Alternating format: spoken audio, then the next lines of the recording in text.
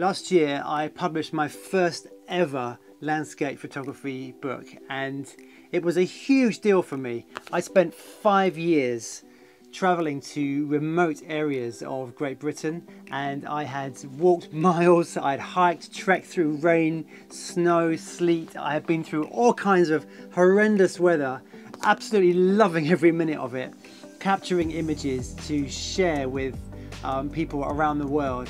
And at the end of the process, I really wanted to create a book which I could sell um, not only to help support me, but also to kind of showcase these amazing areas. And so here's my book. It's called Beauty in the Wild.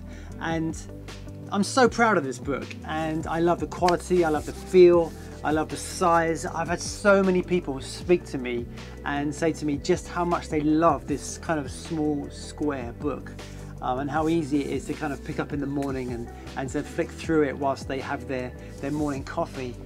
And the process of getting this book made actually was quite daunting for me because I'm not the kind of person who loves to just sit for hours on desktop publishing software creating um, kind of you know books and working through all of that. I like to get out and to kind of make the, the kind of creating bit as quick as possible to get out and to shoot and to walk.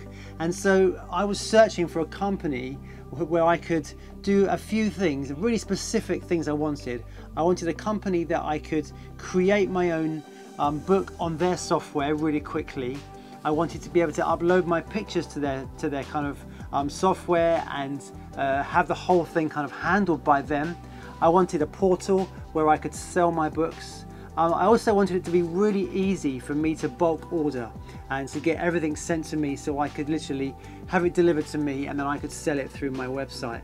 And so I was looking for a very specific company and not only that, the massively important part for me was quality of printing. When you're printing your own photography, it needs to be very high class paper and high class printing. And so I stumbled across Blurb. I was listening to a podcast and uh, I heard um, someone from Blurb talking about their, um, their books. And I was just overwhelmed by the fact you could just do one book.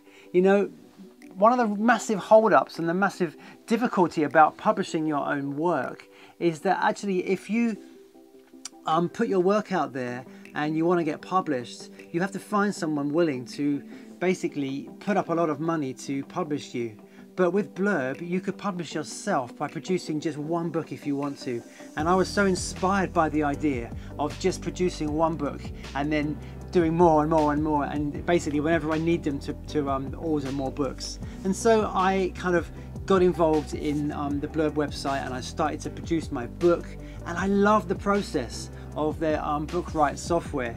You can literally just go on there and you can put your, upload your photos and you can start to use all the templates, the text, and I love that process of getting the book made. And uh, I would, I ordered one, checked it out, changed a few things, got another one, and it was just a really easy process to get my book exactly as I wanted it.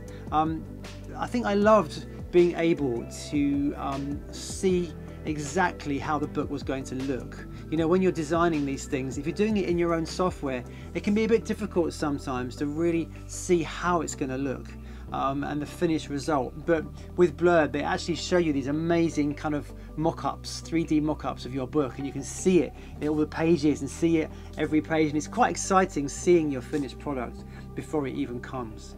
And so I was absolutely um, and thoroughly happy with my book. And I have had so many comments from people at just how professional um, the book is. And I am in the process now of producing my next book.